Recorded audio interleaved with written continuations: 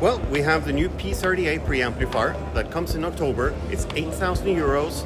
It's a renewal of the P30, but with a completely new gain stage and a completely new volume control that is much more resolution. This is the H30A, uh, the, the replacement of the H30 power amplifier with 56 output devices, updated design, and a completely new front end. So only the output stage is the same as the old one. The massive update.